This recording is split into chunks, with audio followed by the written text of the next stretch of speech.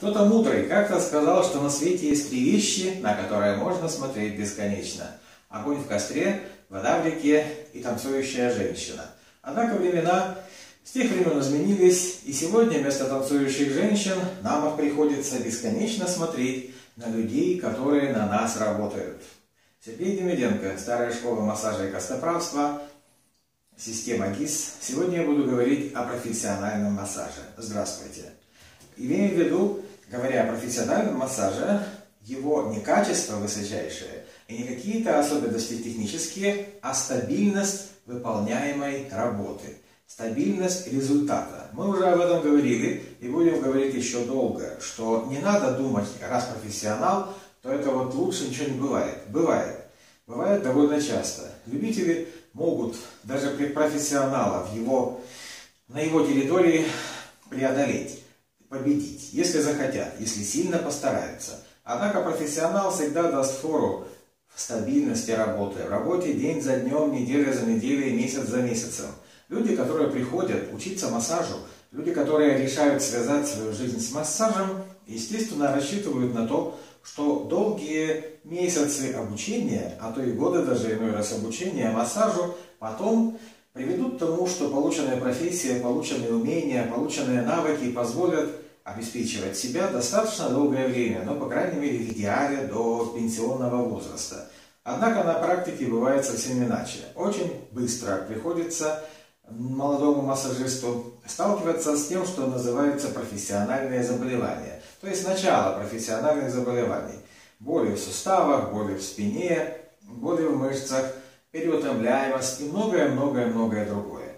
Большая часть этих вещей связана с тем, что человек неправильно использует полученную технику. А еще чаще, что человек неправильно концентрирует свой интеллект, свой разум. Не на тех целях он концентрируется. Потому что человек, молодой начинающий массажист, старается работать как можно лучше, забывая при этом о собственном самочувствии.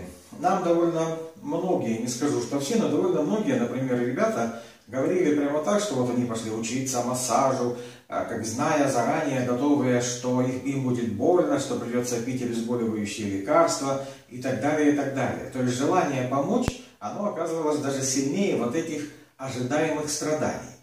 То есть люди уже знают, что будет болеть, и они готовы даже эту боль терпеть, лишь бы помогать людям. Потом оказывается, впрочем, что сильно помочь они не могут, потому что техника их еще слишком слаба и движения слишком неумелые, а боль уже появилась. Мы считаем в нашей системе, системе, созданной именно для профессионалов, для, это сейчас называется индивидуал, по-моему, в России, то есть людей, занимающихся частной э, индивидуальной трудовой деятельностью. Так вот, мы считаем, что ошибки начинаются с самого начала. То есть, во-первых, человек забывает о том, что надо заботиться о себе, о своем здоровье, и что это самая главная задача профессионала, потому что если профессионал не будет заботиться о своем здоровье, не будет подстраивать технику своей работы под свое здоровье, то ему здоровья не хватит надолго. Он заболеет, и он перестанет работать. И он перестанет помогать другим людям, например, или творить чудеса, если это касается резчика там по камням. Помните, ведь, наверное, все читали в детстве э, «Аленький цветочек» и этот э, легенды Уральских гор Бажова. Там был такой каменный цветок, который Данила, по-моему, мастер резал. И все были шутки, что, дескать, не выходит каменный цветок. Так вот, ведь там прямо в сказках этих было написано, в этих историях, что резчики умирали довольно быстро, потому что пыль вдыхают, заболевают. И это дело было распространенное в те времена, когда у человека выбора не было, и человек вынужден был работать за еду. И традиция с тех пор, видимо, сохранилась, что вот неважно, как я себя чувствую, я все равно буду работать, пока, будут, пока будет возможность. Так вот, в наших, условиях, в наших силах, в наших условиях сделать эту возможность максимально долгой, если мы обратим внимание на ту технику, с помощью которой занимаемся массажем. И первая ошибка, которую мы наблюдаем у всех, у 100% начинающих массажистов, да и опытных – массажистов частенько тоже. Первая, самая важная ошибка – это положение тела. Это та позиция, та стойка, с которой они начинают массаж. Здесь у меня тела нет человека, однако традиционно считается, что наиболее удобная высота рабочего стола должна быть такой, чтобы верхняя поверхность массируемого человека была примерно на уровне нашего пупка. То есть, если предположить, что вот здесь у нас задница или там спина, и мы вот стали ее массировать, то первая ошибка, которую совершают люди, это полностью забывают о своей спине и о своей пояснице. То есть тут бывает так, или человек забывает и работает там как-то изо всех сил, обеими руками сразу, наклоняясь очень далеко, вытягиваясь куда-то там, забывая, что это положение сразу забивает нашу спину и нашу поясницу. Другой вариант, которым порадовали нас некоторые выпускники, польские, но боюсь, что и русские сейчас тоже уже есть такие, творческие, креативные, это вот такая вот вертикальная позиция позвоночника, то есть карате. А как они нам объяснили, есть некий, вроде бы француз, какой-то там великий мастер массажа и, кажется, хиропрактики или костоправства, и вот он, наблюдая за, естественно, страданиями специалистов, работающих массажистов, он пришел к выводу, что раз чаще всего приходится работать вот так, согнувшись, то нужно беречь спину, в силу того, что он хиропрактик, он, разумеется, думает только о позвоночнике. К сожалению, людей, работающих с болями, чаще всего в медицине учат так, что есть позвоночник, есть нервы вокруг позвоночника, а все остальное от лукавого. То ли потому, что не умеют преподаватели работать с мягкими тканями, то ли потому, что это уже вот такой стереотип, вбитый чуть ли не с молоком матери. Позвоночник. Позвоночник – основа всего. Мы забываем о том, что позвоночник держится благодаря сухожилиям, мышцам, связкам, огромному количеству мягких тканей, которые кости эти, в общем-то, в куче держат. Но бог с ним. Вот скоро этот француз, или как его там, решил, что вот эти наиболее часто встречаемые позиции в работе приводят к быстрому забиванию мышц, мышцы устают, возникает боль, потом появляются какие-то грыжи межпозвоночных дисков и прочие ущемления – он решил, что самый простой вариант, ну, в общем-то, для инженера это было бы, было бы, наверное, даже естественно. Самый простой вариант – снять нагрузку. То есть, да, вот вертикальная спина, и да, в этом положении никакой лишней нагрузки на спину нет. И давайте массировать ногами. Это хорошая мысль работать ногами, потому что отталкиваясь от опоры, мы получаем возможность всю массу нашего тела вложить в движение. Да, как в боксе. Вот ты раз и вложился через задницу и через плечо. И вся масса твоего тела ушла в кулак. То же самое в массаже. Да, вот ты вкладываешь руку, и благодаря этому ты можешь мощно и глубоко толкнуть. То есть ты не просто шкурку гладишь, а ты все остальное, что под шкурой, вплоть до тех, вплоть до тех самых глубоких мышц, которые там вдоль позвоночника лежат. Ты все это можешь одним движением разбудить и ввести в работу. Но вот в этом положении, когда ты работаешь жесткой спиной и только ногами, ты не можешь сделать очень много, потому что неудобно. Ты запаришься ходить вокруг стола, пытаясь найти вот, пытаясь вот этот кусочек сделать здесь, а потом сделать здесь. А время идет. Профессионал зарабатывает временем. Чем быстрее ты сделаешь человека, качественно сделаешь, тем быстрее ты сможешь нового взять, то есть больше сможешь обслужить, то есть больше сможешь заработать. Соответственно, вот эта вот попытка держать спину прямой, она на первый взгляд кажется хорошей, но в реальности это неудачное решение проблемы, потому что, как я уже сказал, человек очень неудобный предмет для массажа, а во-вторых, пытаясь удержать спину все время вертикально, хочешь, не хочешь, ты опять-таки заставляешь свои мышцы работать в статической позиции. А мы все знаем, что быстрее всего забивает мышцы, утомляет мышцы работа статическая – когда мышца напряглась и вынуждена держать.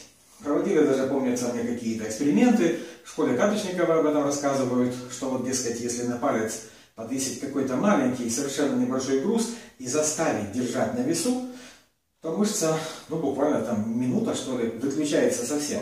То есть накапливается усталость и хоп, мышца отказалась от работы. Не могу больше. То же самое касается нашей спины. В своей системе, в системе ГИС, мы пошли по-другому. Вот скоро мы должны сделать человека, и сделать его быстро, и сделать его интенсивно.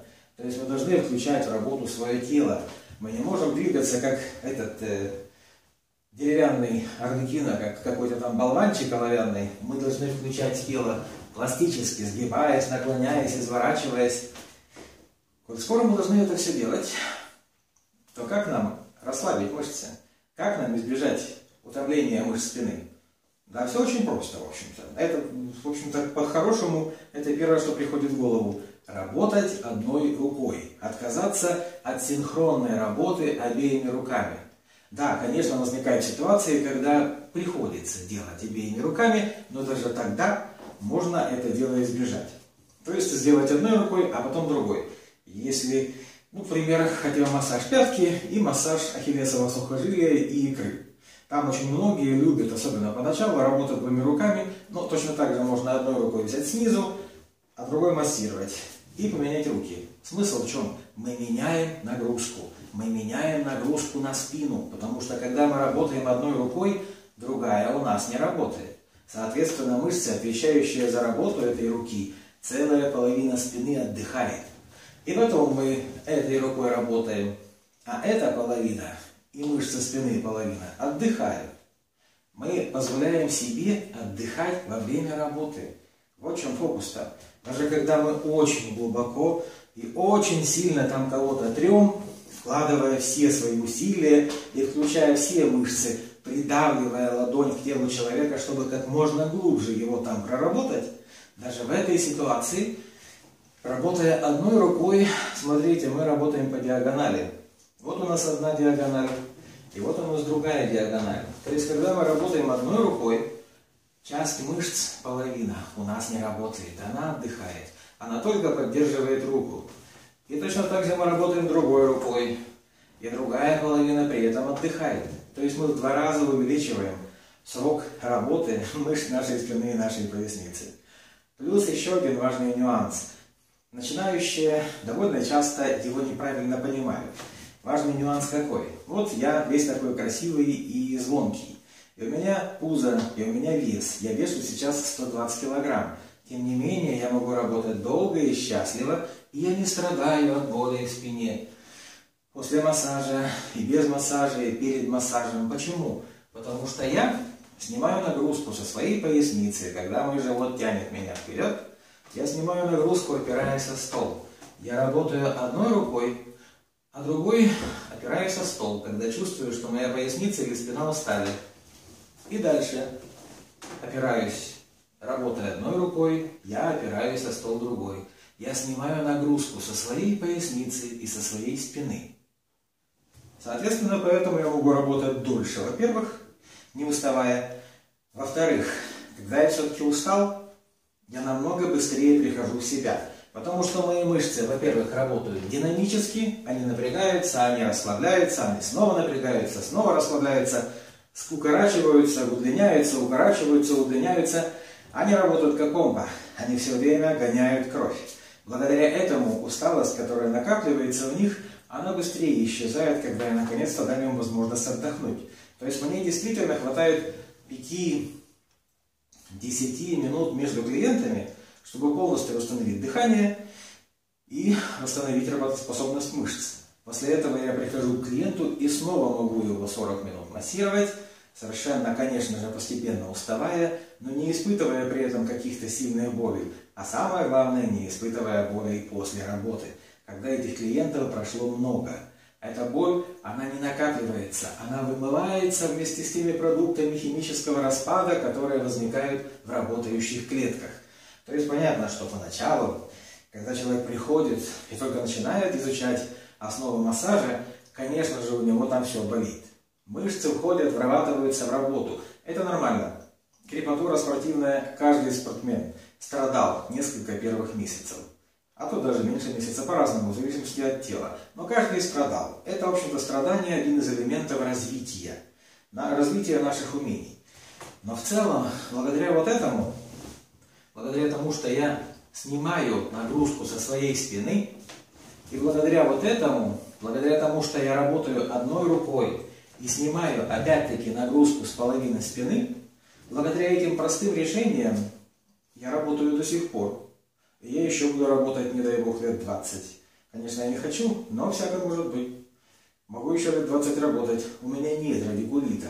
У меня нет этих всяких воспалений, которые так любят находить врачи, и все там изменения позвоночника, которые есть. Это возрастные изменения, связанные в первую очередь с моим излишним питанием и неправильным образом жизни, но никак не сработает. Мне не приходится колоть навокаин, ходить на разного рода процедуры, потому что я правильно использую свою технику. Я забочусь о своем здоровье, я забочусь о своем состоянии, потому что мое тело – это мой инструмент. Если плотник беспокоится о своем топоре, а какой-нибудь слесарь беспокоится о резцах, то я точно так же, если я считаю себя специалистом, и если я хочу в этой профессии работать долго, я обязан заботиться о своем теле. То же самое вы должны, сделать и вы, Сергей Емельяненко.